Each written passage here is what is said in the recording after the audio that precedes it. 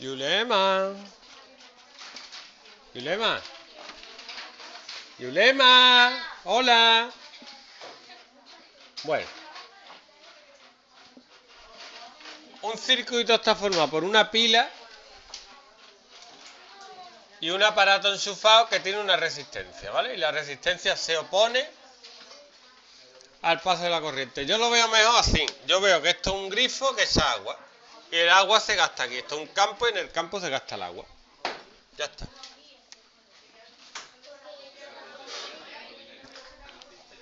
A ver, Yulema, tú con la gravedad no puedes negociar, ¿vale? La gravedad va a tirar para abajo de ti con la misma fuerza siempre. Puedes jugar con ella. Puedes subirte una cama elástica y usar la gravedad para jugar, para pasártelo bien. Pero nunca vas a poder con ella, ¿vale? Entonces, te aconsejo que en vez de resoplar y decir que no, te pongas a la tarea porque no vas a poder hacer nada con ella. La pila tiene un voltaje, se mide en voltios, es la intensidad de la pila. Más voltaje, más intensidad. Por ejemplo, 10 voltios. La resistencia depende del aparato. Un aparato que gasta más tiene más resistencia. Se mide en ohmios. Y la intensidad es la corriente va por aquí. Yo lo comparo con el agua. Si hay más intensidad, quiere decir que el tubo de agua es más grande. Y si hay menos, más chico. Está más fuerte abierto el grifo. Cuanto más fuerte está, más intensidad hay. Pues hay una fórmula que es que relaciona estas tres magnitudes, que es esta. Yo prefiero ponerla así porque a mí me parece un virus. Pero es viva la reina de Inglaterra. O un virus. Voltaje igual. Entonces tenemos resistencia. De aquí se pueden despejar las otras dos. Si no la despejáis, hacéis esto. ¿Vale? En este triangulito están las tres fórmulas. El voltaje es la intensidad por la resistencia. La intensidad es este que está encima partido de este que está debajo. Voltaje partido de resistencia. Y la resistencia del voltaje partido de la intensidad.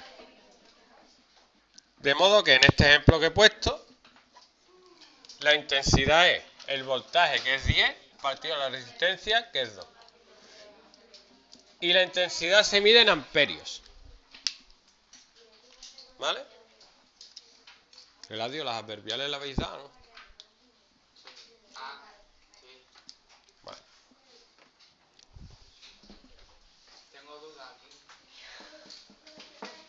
Ahora cuando toque las Aquí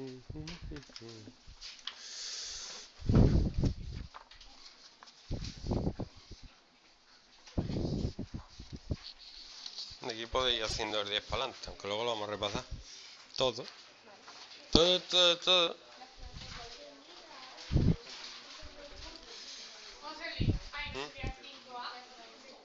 Ay, es verdad, 5A. Era para ver si estaba atento.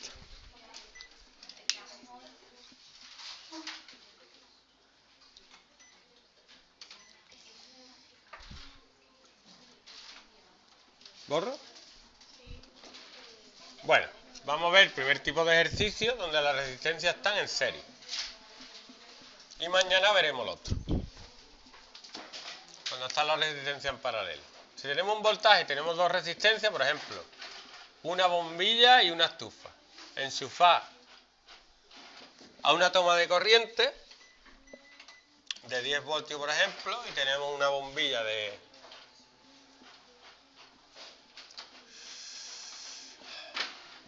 de 2 volt, de 2 ohmios y una estufa de 3 ohmios. Por poner algo. Que eso es muy poco, pero bueno. Cuando las resistencias están en serie, se suman. De modo que, si yo tengo una resistencia A y otra resistencia B, la resistencia equivalente, que vale lo mismo, es la suma de las dos. ¿Vale? Se suman del tirón y ya está. De modo que este circuito sería equivalente a este.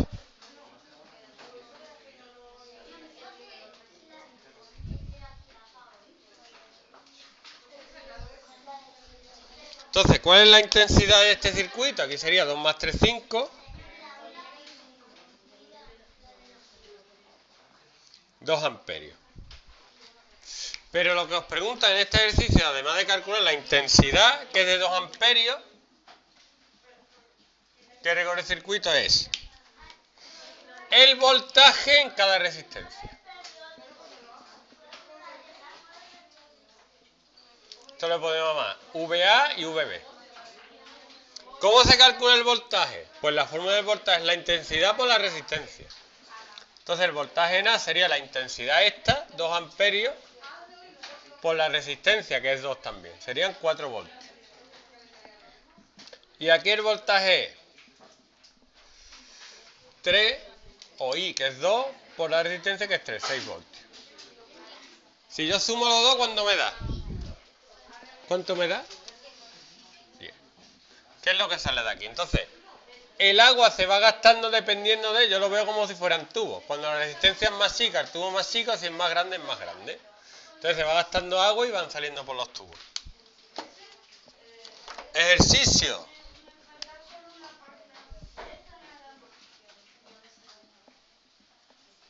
Lo único que tienes que hacer es cambiar el voltaje y la resistencia.